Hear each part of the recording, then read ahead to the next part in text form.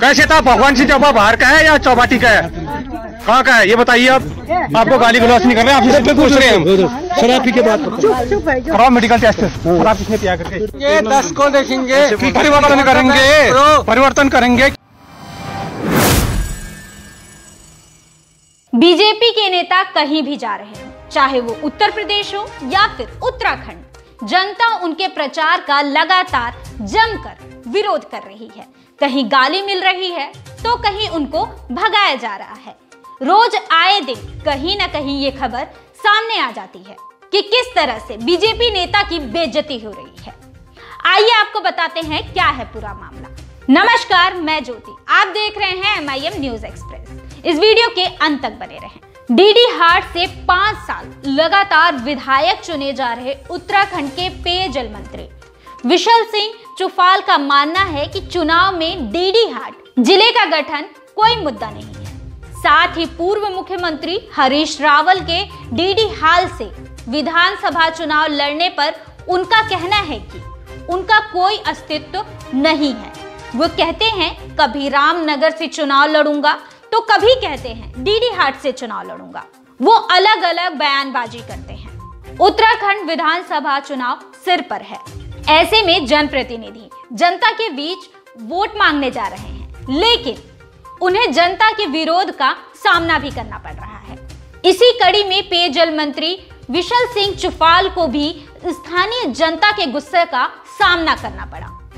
अभी तक तो डीडी हाल विधायक और पेयजल मंत्री विशल सिंह देवथल क्षेत्र के बमडोली गाँव में चुनाव प्रचार के लिए गए थे, जहाँ ग्रामीणों ने विकास कार्यों का हिसाब मांगकर खूब खरी खोटी सुनाई, जिस पर मंत्री जी झेप गए और ग्रामीणों पर शराब पीकर विरोध करने का आरोप लगाकर निकलते बने, जिसका वीडियो जमकर वायरल हो रहा है।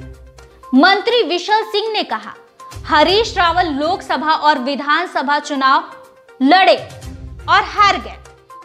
कभी कहते हैं विधानसभा परिषद का गठन करना है जहाँ अन्य राज्यों में 300 या 150 विधायक हैं। वहाँ विधान परिषद नहीं बन पा रही है। यहाँ 70 विधायकों में थोड़े ही विधान परिषद बन सकती है।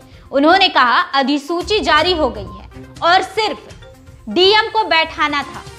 पर कांग्रेस ने इस मुद्दे को उलझा दिया। मंत्री ने आगे कहा, पाँच साल कांग्रेस की सरकार थी, तब उन्होंने जिला नहीं बनाया।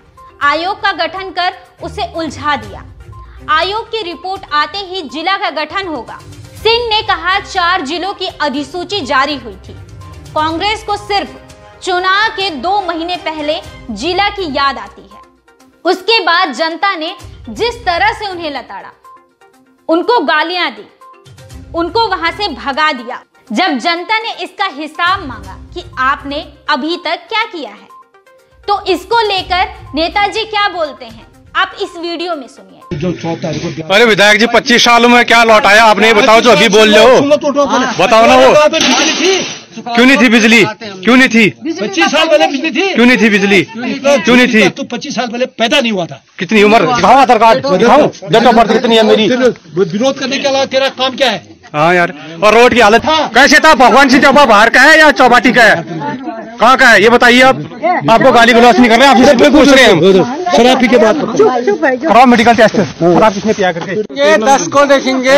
परिवर्तन करेंगे। परिवर्तन करेंगे क्या? इस बार दस को देखेंगे। चलो मिलो।